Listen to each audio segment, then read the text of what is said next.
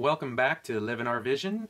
I'm Brian. And I'm Michelle. If this is your first time here to our channel, welcome. And if you would, please subscribe right below and give us a thumbs up on our videos. All of those really help. Share, make comments down below in the videos. All of that helps YouTube put our videos out to more people and helps get them seen.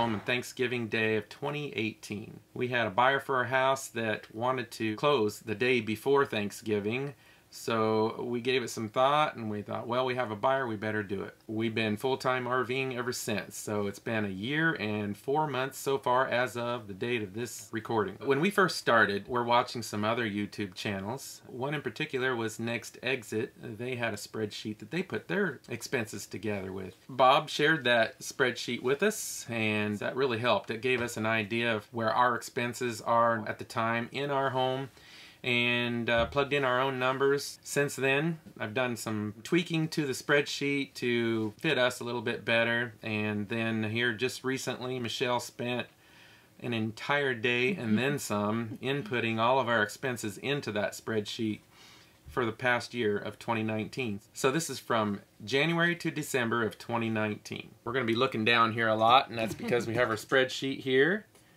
and also in this video, we're also going to share what we had predicted before we started RVing and showed the comparison of a house versus RV and we'll show you how close we actually were where we are now. We're going to start with diesel fuel because that is a big cost. Part of the uh, reason we went with the Thousand Trails membership is so that we wouldn't move quite a bit. We would we wanted to stay within the park system at least two to three weeks at a time.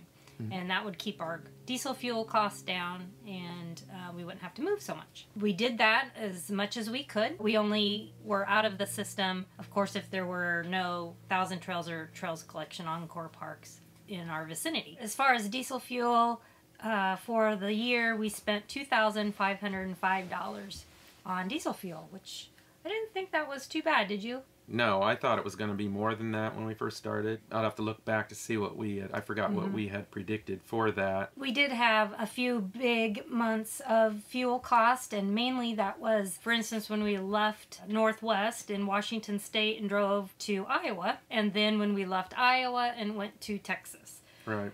And then again from Texas to Florida. So those obviously were our big months where right. we spent a lot. And also looking on the spreadsheet, in May there was 536 miles driven with diesel fuel costs of only $214. And then you'll look at the month of June was only 245 miles with more diesel fuel, mm-hmm. $247. And at first, when I first looked at that, how's that possible? And then, duh, I thought it's because we already had fuel in the tank when we started.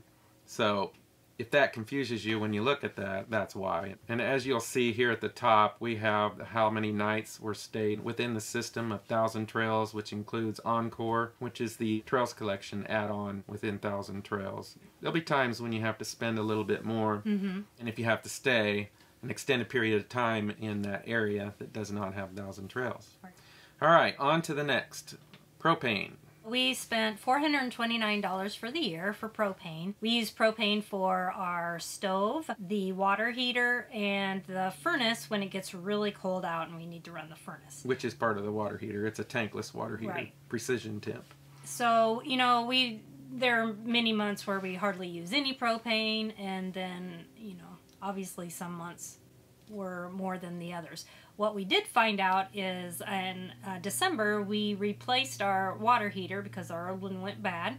Luckily, it was all under warranty. We, we had no out of cost for that. But under the new water heater, we have noticed a drastic change in where we're not using as much protein. Yeah. Propane. propane. Where we're not using as much propane. So we didn't even realize that before that the old water heater was sucking up our propane, but apparently it was because we, you know, once yeah. we went on got the new one, it's a lot better. With that being said, Vinny is for sale. Just wanted to get that out there to our followers. If you're interested, just mm -hmm. uh, let us know and we'll talk about it. On to the next. All the RV clubs, campground memberships, monthly dues, Thousand Trails, Mm-hmm. Trails Collection, RPI, Passport America, Good Sam's, all of those. Mm-hmm. So we paid for the Thousand Trails and the Trails collection October before we actually went full time. October of 2018, like at the very last day. So that's why the the total cost is not on there because we paid the full amount right up front. We don't like to do the monthly payment plan or anything like that. So the only time it's in the spreadsheet is this past December, so December of 2019, when we did renew our plans. So Thousand Trails renewal was around 562. Trails collection renewal was 299. And then we also uh, renewed our Harvest Host of $76. So that was all in uh, December of 2019. And then earlier in the year, in February, we renewed, um, or no, we bought the RPI, and that was $125. And then Passport America, we purchased in January for $99, but the Passport America cost is actually for over a three year period.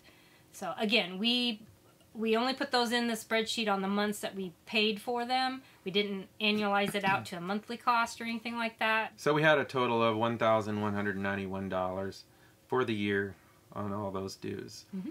Which um, was our total cost for 2019.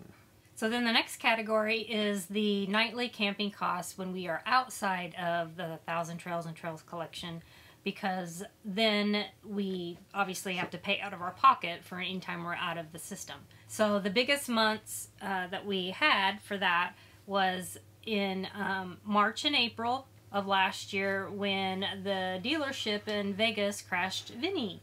And we had to have the motorhome repaired and we had to actually stay out of the motorhome.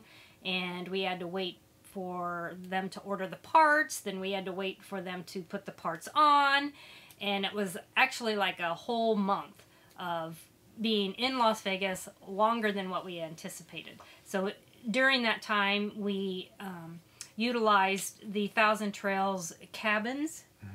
And but that again we got a discount but again we had to pay out of pocket for that and then we since we only had a time frame of about two weeks in the cabin we still needed two more weeks somewhere so we found a, a casino rv park downtown and um, paid for that for two weeks Yeah, but that's the the casino park downtown was when we had Vinny still and we were waiting for him to get parts.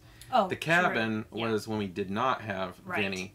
So the casino came first. true We i had were that there backwards. first. so the other big months that we had the out of the park was of course when we went back to iowa there are no thousand trails or trails collection um, actually there's very limited of anything for membership wise in um, the midwest so of course we had to pay out of pocket for the times that we were in um, the state parks or the corps of engineers um, or the city park when we were visiting my mom so for the year, out of the Thousand Trail system, we spent two thousand five hundred and eighty-five dollars. So our RV and our car We financed those. and our payment for the RV is seven hundred and thirty-five dollars a month. So that was eight thousand eight hundred and twenty dollars for the year, and our car is four hundred and thirty-five dollars a month, and five thousand two hundred and twenty dollars for the entire year. Then we have miscellaneous, RV miscellaneous, which includes, you know, your repairs and tags. And luckily for the repairs, most of it has been through our warranty. Right. The only thing that uh, was not in a warranty is things like when I replaced the water pump myself, um, just little things like that. Right. We uh, purchased the window shades, so that's in there. And when we did the whole service of the motorhome uh, in October, I think that was, we also had our muffler, the tailpipe Repaired. repaired for a mishap in Oregon.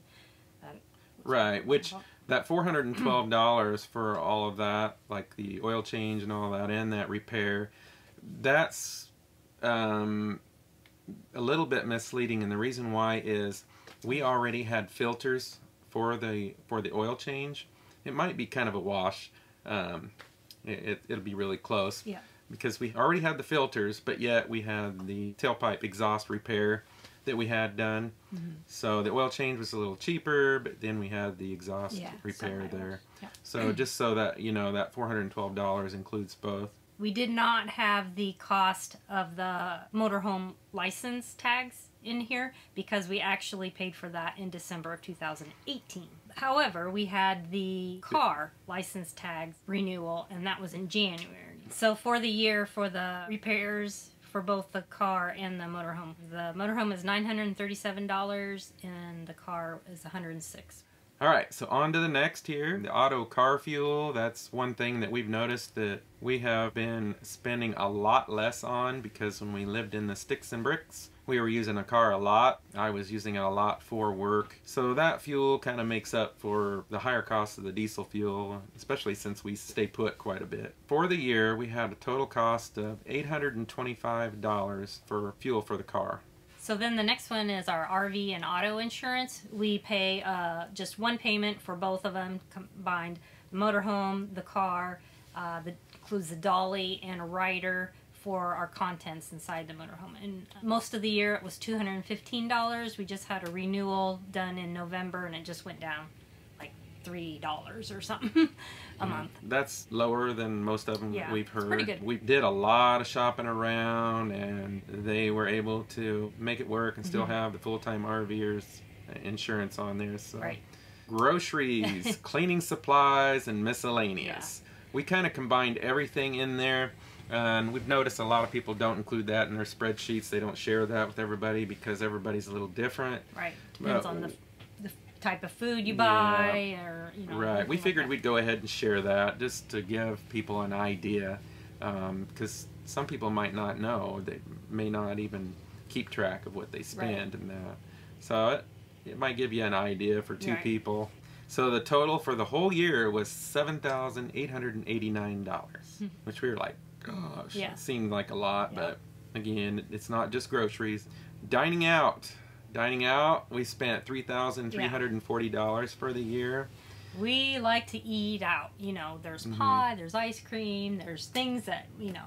No, really, actually, we did this before we even went full time. We always enjoyed going out to restaurants and eating out, but now it's uh, it's like a fun thing to do because you're in a place that you've never been before, most likely, and you just want to try out new new things. So uh, we do like to eat out a lot. Yeah. On the right hand side of the spreadsheet, after the total, it shows an average. That's your monthly average.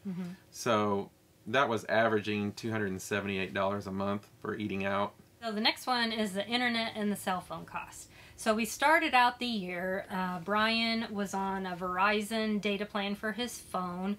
We had a Verizon Jetpack for the Wi-Fi, and then I was already on Visible, which utilizes the Verizon towers.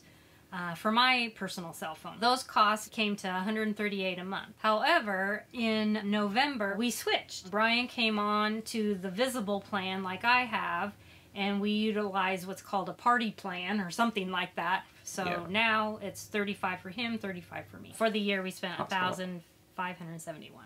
So that will go down for 2020 because it'll remain Right. that amount throughout the whole year, obviously. Yep. Now, the next uh, TV service, we just use our antenna mostly. Um, and then we have Amazon Prime that we like to watch the shows and movies on there. yeah. And then when I bought the iPhone 11, it came with one year free of Apple TV Plus. So we just started uh, using that. And we're not going to have to pay for that for a, a whole year. That won't come up till 2021. And when it does, that's only $5 a month for that. So we'll probably keep that. Medical expenses, uh, we don't have any medical expenses right now. Thank God, knock on wood. Yeah, we have insurance through, Through my employer. employer. And we don't have any pet care because we currently do not have a pet. She said currently. Currently. That's why I enunciated. Currently, don't have a pet. Next one is uh, recreation, hobbies, and entertainment. Um, we try to, well, when we get to a new area, and you know, we'll Google to see what's in the area to do for fun. And, um, you know, surprisingly, there are a lot of free things to do or things that are not all that expensive. So, um, you know, you'll kind of see like through the months, sometimes we don't spend that much because, you know, gosh, if you want to just go for a hike or hmm um, just get out in nature, you know, there's a lot of things that are either free or very cheap to do. A lot of times we'll just splurge because it's part of a bucket list. Mm, Right. We didn't really have any computer costs for the year. We do have $162 listed in there for one month and That was a storage drive, an SSD drive. yeah. And the next one is a storage unit. We do have a storage unit, a very small one that just has a few mementos of ours in and um, still have a monthly cost on that. Um, the next one's a hairstylist products and makeup for me.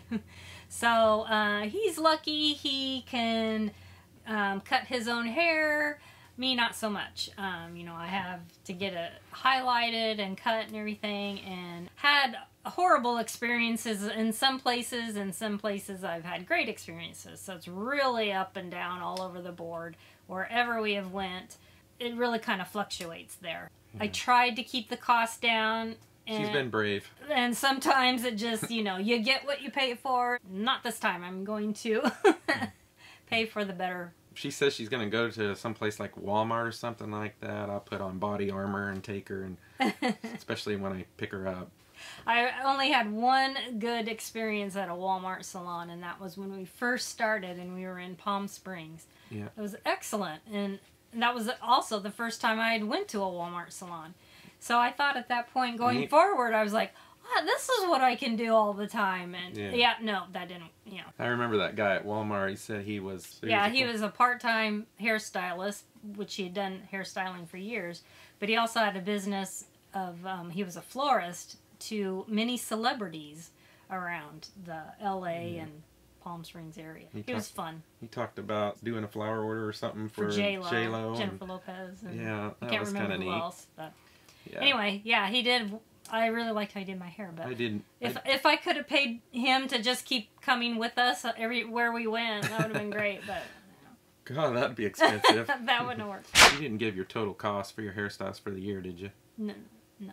Five hundred and twenty-six dollars Yeah. for the year. Okay. Yeah. Then the next category is clothing and gifts, and um, that's kind of a up and down all over the board too, because it just depends on where we're at in the area. If I want to get T-shirts and hoodies and all that stuff, souvenir wise, I may spend a little more. We came up with one thousand fifty-seven dollars for the year for that.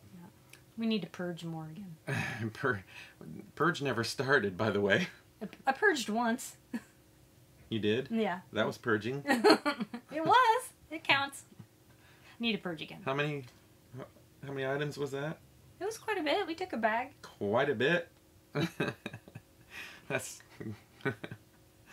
That's just funny. Mail service. We've Um, spent four hundred and sixty dollars for the year on mail service. So we use America's Mailbox for our mail service. Um, anytime we are in a spot where we're going to be at least two weeks, we just call them up and tell them to go ahead and forward our mail. We started out the year where we had already paid for their service prior to January of 2019. So in the spreadsheet, you'll see a couple months where there's a $104 cost in there, and that is when we needed to replenish our postage that they use to um, send out our mail. But in November of last year is when we renewed our service with them, and that was $252 for the year. The final number it shows that we have spent forty-two thousand seven hundred and twenty-two dollars. Ironically, in our spreadsheet when we first started, before we even went full time, all of our house expenses for the entire month, every month,